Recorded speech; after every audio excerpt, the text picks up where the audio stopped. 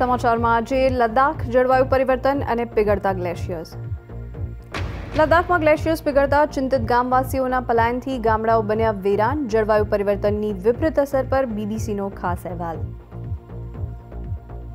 BBC સમાચારમાં આપનું સ્વાગત છે. હું છું બ્રિજલ શાહ. કવર સ્ટોરીમાં આજે વાત. હિમાલયના પીગળતા ગ્લેશિયરથી આસપાસ વસતા લોકોનું ભવિષ્ય જોખમમાં છે તેની, પરંતુ એ પહેલા એક નજર આજની હેડલાઇન્સ પર. વિશ્વ સ્વાસ્થ્ય સંગઠને ભારતમાં બનેલી કોવેક્સિનના ઇમરજન્સી ઉપયોગને આપી લીલી ઝંડી. ડબ્લ્યુએચઓએ ટ્વીટ કરી આપી જાણકારી. કોરોનાને કાબૂમાં કરવા માટેની રસીની યાદીમાં એક નવું નામ સામેલ. અમેરિકામાં પાંચથી અગિયાર વર્ષના બાળકોને પણ હવે કોરોના વાયરસની રસી આપવાની મળી મંજૂરી. બળવાખોરો ઇથિયોપિયાની રાજધાનીને ઘેરી વળ્યા. નાગરિકોને હથિયારો ઉઠાવવા કહેવાયું. દેશમાં અસ્થિરતા વધવાના એંધાણ કોરોના વાયરસના પ્રતિબંધોમાંથી રાહત મળતા યુકેમાં પણ આ વર્ષે ધામધૂમથી દિવાળીની ઉજવણીની તૈયારી. આ પૈકીની કેટલીક ખબરો બીબીસી સમાચારમાં.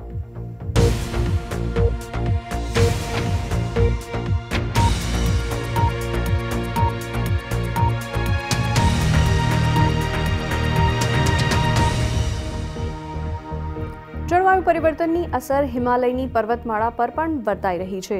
લદ્દાખમાં તો સ્થિતિ ત્યાં સુધી પહોંચી ગઈ છે કે ગામડાઓ વેરાન બની રહ્યા છે, કારણ કે ગ્લેશિયર્સ ઓગળી રહ્યા છે અને તેના પર પાણી પર, અને તેના પાણી પર આધાર રાખતા સ્થાનિકોને ન છૂટકે અન્ય સ્થળે વસવાટ કરવો પડે છે. જોઈએ લદ્દાખના સ્થાનિકોના સંઘર્ષ પર જ આજની કવર સ્ટોરી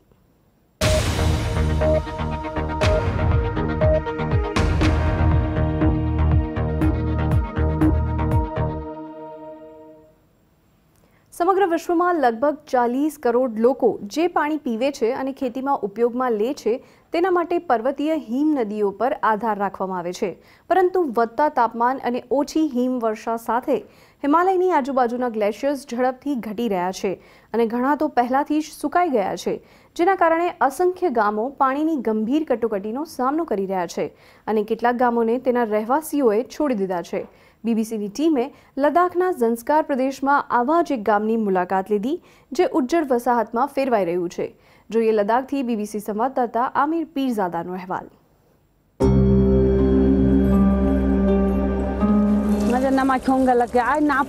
લગ્ન કર્યા પછી જ્યારે હું આ ગામમાં આવી ત્યારે આ પર્વતો બરફથી ઢંકાયેલા હતા अभी जो है ना बर्फ़ पड़ना काम ही हो गया तो बिल्कुल ग्लेशियर खत्म हो गया due to global warming, the first global વોર્મિંગના કારણે સૌથી પહેલી અસર તે લોકો પર પડશે જે હિમાલયના પર્વતીય ક્ષેત્રોમાં રહે છે.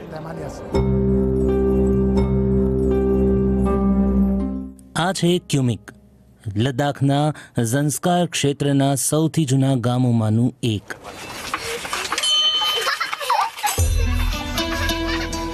એક સમયે આ ગામની ચારે બાજુ બરફ આચ્છાદિત પર્વતો હતા જેના પર ગ્લેશિયર્સ નિર્ભર હતા. સ્થાનિકો સદીઓથી ગ્લેશિયર્સમાંથી આવતા પાણી પર નિર્ભર હતા. પણ હવે વધતા તાપમાન અને ઓછી હિમવર્ષાને કારણે તેમનો એકમાત્ર પાણીનો સ્ત્રોત લગભગ સુકાઈ ગયો છે.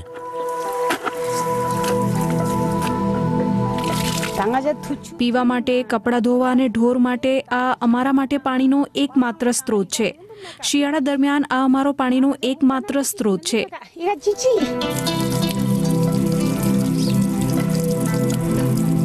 खेती बाड़ी में लगाने के लिए हमें कुछ नहीं मिलता है सब कुछ इसी सोर्स से हमें कुछ कवर नहीं होता है इसीलिए हमारे को घऊँ छोड़ने का मजबूर पड़ रहा है લોકો અહીં ખેતી પર નિર્ભર છે પણ હવે મોટાભાગની ખેતીની જમીન ઉજ્જડ છે અને તેથી લગભગ અડધું ક્યુમિક ગામ પાણીની શોધમાં સ્થળાંતર કરી ચૂક્યું છે ગેપલિંગ એ નવું ગામ છે જ્યાં તેઓ જઈ રહ્યા છે ત્યાં પણ પાણી નહોતું.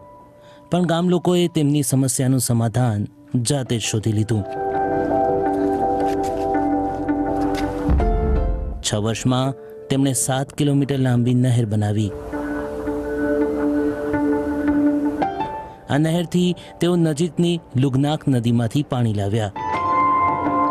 અને આ વિચાર પાછળ હતા રિગ્ઝિન ટેમ્બર. ગુજરાત જોડના ગાલીસર ખતમ હો ગયા. तो हम लोगों ने यहाँ आके कोई लड़के हम लोग आके देखा इधर से पानी चढ़ सकता है लड़का लड़की सब गिनती पे से लेके खोद के बना हमने थोड़ा सा पानी पहुंचने के लिए तो सभी मिल के 2007 में मई आठ तारीख को हमने वहाँ कौंसलर लाया रिबन कटा फैंक्शन किया આ નહેરે લોકોને આશાનું નવું કિરણ બતાવ્યું ક્યુમિકના લોકો આ નવા ગામમાં સ્થાયી થવા લાગ્યા અને પાણી માટેનો તેમનો સંઘર્ષ સમાપ્ત થયો. સિવાંગ ઝંગમો એવા લોકોમાંથી એક છે જેમણે આખી જિંદગી જળ સંકટનો સામનો કર્યો છે.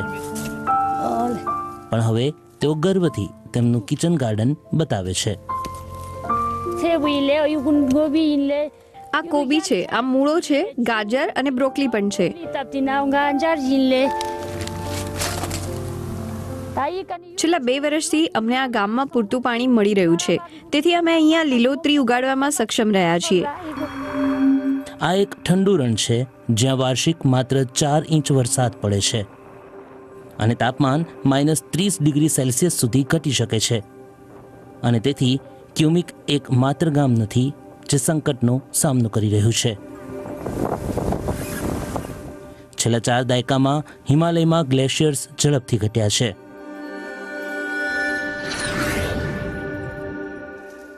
તે એક એવી સમસ્યા છે જેના નિરાકરણ માટે મોટી સહાય જરૂરી છે see, global warming is not an issue of Ladakh only. If you don't, you know, uh, take it seriously, global warming માત્ર લદ્દાખનો મુદ્દો નથી.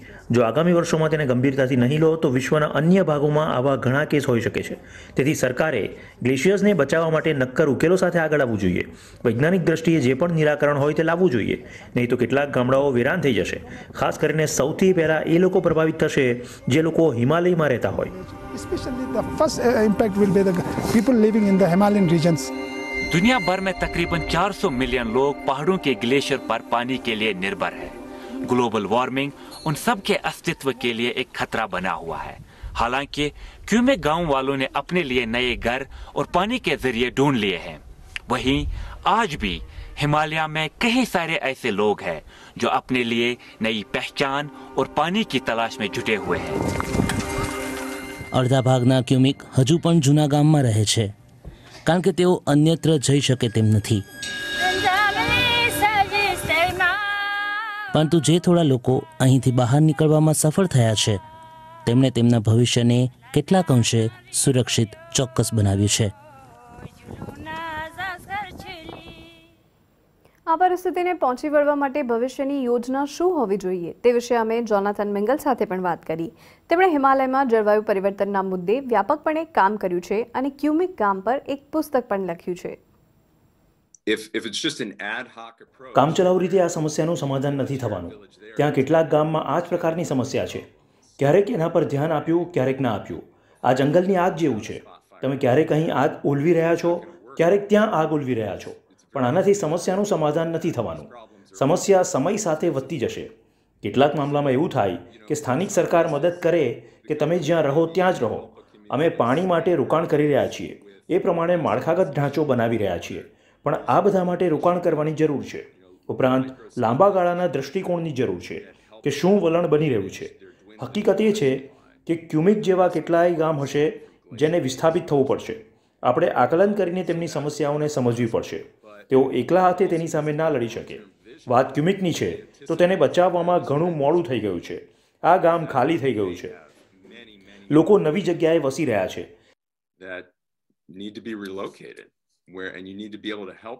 હવે આ લોકોનું ભવિષ્ય સારું થઈ શકે છે. પણ ક્ષેત્રમાં રહેનારા કેટલાય સમુદાયને તાત્કાલિક મદદની જરૂર છે. જો તેમને એ મદદ મળી તો તેમને એ તકલીફનો સામનો નહીં કરવો પડે જે ક્યુમિકના લોકોએ ભોગવી છે. It's been abandoned. People are starting over in a new village. એટલે કે જળવાયુ પરિવર્તનની અસર સમગ્ર વિશ્વ સાથે ભારતમાં પણ દેખાઈ રહી છે. ત્યારે જ બીબીસી સમાચારમાં સમય છે વિરામનો. આગળ જોઈશું.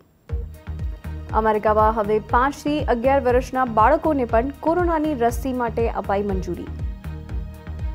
બળવાખોરો ઇથિયોપિયાની રાજધાનીને ઘેરી વળ્યા. નાગરિકોને હથિયાર ઉઠાવવા કહેવાયું. મળીએ થોડી જ વારમાં.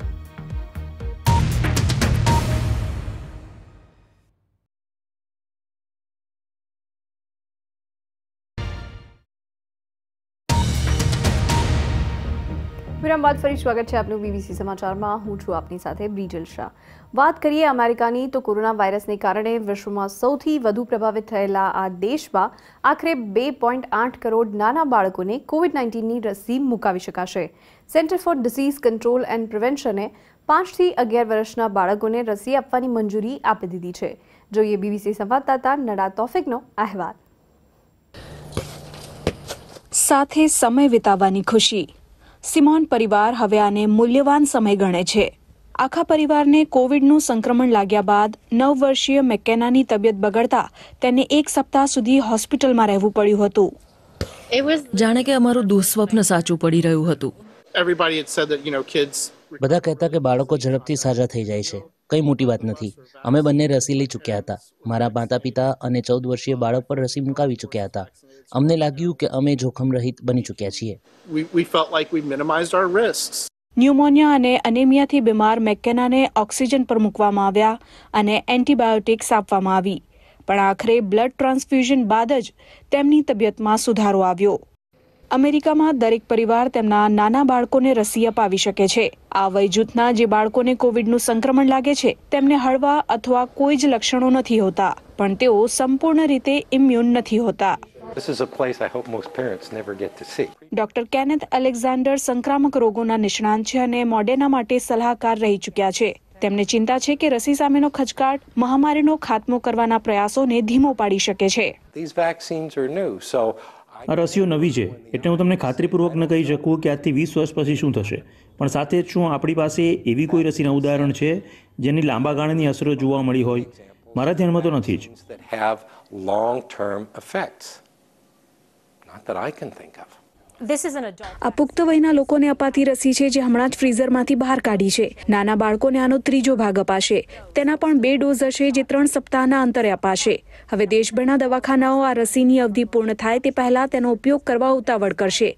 એટલે વાલીઓને મનાવવા જરૂરી બની જશે. તમારામાંથી કેટલા પોતાના નાના બાળકોને કોવિડ રસી મુકાવતા અસ્વસ્થતા અનુભવે છે? મોમ્સ ફોર લિબર્ટી જૂથ ફરજિયાત માસ્કનો ખુલ્લેઆમ વિરોધ કરતું આવ્યું છે. તેનાથી દેશભરમાં પચાસ હજાર સભ્યો પ્રભાવિત પણ થયા છે. અમે અમારા બાળકોની કાળજી લેતા હતા અને મહિલાઓ અને બાળકોને આગળ રાખતા હતા. હવે અચાનક જ્યારે અન્ય લોકો સામે જોખમ છે તો અમારા બાળકોને રસી આપવી પડશે અને અમને નથી ખબર કે આની લાંબા ગાળે કેવી અસર થશે. કિશોરોમાં રસીકરણનો દર જોઈએ તો હજી પણ ઘણા માતા પિતા મૂંઝવણમાં લાગે છે. સીડીસીએ આ વયજૂથના લોકો માટે રસીને મંજૂરી આપ્યાના મહિનાઓ બાદ પચાસ ટકાથી ઓછા કિશોરોએ રસી મુકાવી છે. બધા જ અજાણ્યા અને દુર્લભ જોખમ સાથે પણ સિમોન પરિવાર એક વાત દ્રઢપણે માને છે કે કોવિડની રસી તેમની દીકરીને હોસ્પિટલ જતા રોકી શકી હોત. હવે વાત આફ્રિકાના બીજા સૌથી વધુ વસ્તી ધરાવતા દેશ ઇથિયોપિયાની. અહીં ચાલી રહેલા ઘર્ષણોને પગલે દેશમાં અસ્થિરતા વધવાનો ભય ઊભો થયો છે. ઉત્તરમાં સરકાર તિગ્રેના બળવાખોરો સામે લડી રહી છે, જ્યારે કે અડધો અડધ વસ્તી દુકાળની કગાર પર ઊભી છે. તો દક્ષિણ અને પશ્ચિમમાં ઓરોમિયા પ્રાંતના લડાકુઓ સામે લડી રહી છે, જેઓ આઝાદી માંગી રહ્યા છે. જોઈએ બીબીસી સંવાદદાતા કેથરીન બ્યારુહાંગાનો આ અહેવાલ, જેના કેટલાક દ્રશ્યો આપને વિચલિત કરી શકે છે. ઇથિયોપિયાની સરકારે વચન આપ્યું છે કે ઉત્તરના યુદ્ધનો ઝડપી ખાત્મો કરશે. એક વર્ષ બાદ તે આફ્રિકાના બીજા સૌથી વધુ વસ્તી ધરાવતા દેશના મૂળભૂત માળખા સામે જોખમ બની ગયું છે. તિગ્રેના બળવાખોરો નબળી તાલીમ અને સુસજ્જ ન લાગતા સંઘીય દળો અને તેમના સાથીઓ પર ભારે પડી રહ્યા છે. વડાપ્રધાન અબીએ અહેમદ દેશને ક્રૂર ગૃહ યુદ્ધ તરફ દોરી ગયા છે. તેમની સરકાર માને છે કે કટોકટીની જાહેરાત કરવાથી તેમના વિરોધીઓને પાછા ધકેલવામાં મદદ મળશે. ઇથિયોપિયન્સને આ દેશદ્રોહીઓ તેમના સાથી દળોને રોકવા માટે ગમે તે હદ સુધી જવા કટિબદ્ધ બનવું જોઈએ. પણ તેઓ માત્ર ઉત્તરના યુદ્ધનો સામનો નથી કરી રહ્યા. દક્ષિણમાં ઓરોમો લિબરેશન આર્મી છે. તેઓ ઓરોમો લોકો માટે આત્મનિર્ણય ઈચ્છે છે. દસ કરોડથી વધારેની વસ્તી ધરાવતો આ દેશ એસી વંશીય જૂથોમાં વહેંચાયેલો છે જેમાંથી ઘણા આઝાદી માટે આંદોલન કરી રહ્યા છે. ઓએલએ તિગ્રેના બળવાખોરો સાથે જોડાણ માટે સહમત થઈ છે. તેના બે જૂથો કહે છે કે તેમના દળો ઇથિયોપિયાની રાજધાની નજીક પહોંચી રહ્યા છે. અમે ભારે બલિદાન આપ્યા વગર વિસ્તારને કબજે કરવાની વ્યૂહરચના પર કામ કરી રહ્યા છીએ અને અમે સફળ થઈ રહ્યા છીએ. એડિસ અબાબા ઘેરાઈ ગયા છે. ઇથિયોપિયાના સરકારી દળો નિયંત્રણ જાળવી રાખવા સંઘર્ષ કરતા દેખાય છે. અને તેના બદલામાં આ વિશાળ દેશને એક સાથે રાખવાનો પણ સંઘર્ષ કરી રહ્યા છે. હવે જોઈએ બીબીસી રાઉન્ડઅપ જેમાં છે વિશ્વના અન્ય સમાચાર સંક્ષિપ્તમાં. અમેરિકામાં વર્ષ બે હજાર વીસમાં ભૂતપૂર્વ રાષ્ટ્રપતિ ટ્રમ્પ વર્જિનિયા રાજ્ય હાર્યા, ત્યારબાદ તેમની પાર્ટીના રિપબ્લિકન ગ્લેન યંકન અહીંના ગવર્નર બન્યા, જ્યારે ન્યૂ જર્સીમાં કાંટાની ટક્કર છે. આ દરમિયાન રાષ્ટ્રપતિ બાઇડનની ડેમોક્રેટિક પાર્ટીને ન્યૂયોર્કમાં બળ મળ્યું, જ્યાં તેમની પાર્ટીના ઉમેદવાર એરિક એડમ્સ બીજા એવા બ્લેક વ્યક્તિ છે જેઓ મેયર તરીકે ચૂંટાઈ આવ્યા છે. હોંગકોંગમાં સ્વતંત્રતા તરફી સમૂહના ભૂતપૂર્વ સ્ટુડન્ટ લીડરને ચીન દ્વારા લાગુ કરાયેલા રાષ્ટ્રીય સુરક્ષા કાયદા હેઠળ અલગ થવા માટે અપરાધી હોવાનું સ્વીકાર્યું છે. ટોની જંગની ગયા વર્ષે અમેરિકાના દૂતાવાસ નજીક અટકાયત કરવામાં આવી હતી કે જ્યાં અહેવાલ મુજબ તેઓ શરણ લેવાની યોજના ઘડી રહ્યા હતા. અફઘાનિસ્તાનમાં તાલિબાને વિદેશી ચલણના વપરાશ પર પ્રતિબંધ મૂકી દેશના નાગરિકોને લેવડ દેવડમાં સ્થાનિક ચલણ અફઘાનીનો ઉપયોગ કરવા કહ્યું છે. આ પગલાંથી ધ્વસ્ત થવાના આરે ઉભેલી અર્થવ્યવસ્થામાં ખલેલ પહોંચી છે. કારણ કે અફઘાનિસ્તાનમાં મોટાભાગે અમેરિકી ડોલરનો વપરાશ થતો હતો. ત્યારે સ્પોન્સર્સ અસમંજસતામાં છે. પણ કે જોઈએ કીર્તિશ્રી કલમે આજનું કાર્ટૂન.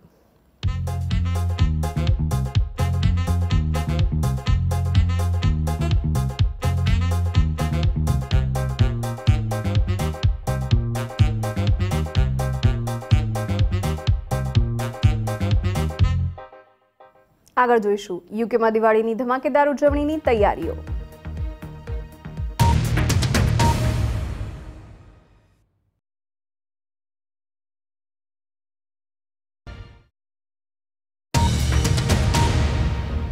વિરામ બાદ ફરી સ્વાગત છે આપનું બીબીસી સમાચારમાં હું છું આપની સાથે બીજલ શાહ કોરોનાને લીધે તહેવારોની ઉજવણી પર ભારે અસર થઈ છે તેમ યુકેમાં રહેતા ભારતીયોએ પણ ગયા વર્ષે દિવાળીની સાદી ઉજવણી જોઈ હતી પણ આ વર્ષે કેવા ઉલ્લાસ સાથે તૈયારીઓ ચાલે છે આવો જોઈએ ગગન સબરવાલના અહેવાલમાં तो कविता हम कहाँ पर है गगन ये लेस्टर का बहुत मशहूर रोड बेलग्रेव रोड है और ये मेरे दिवाली का फेवरेट शॉपिंग प्लेस है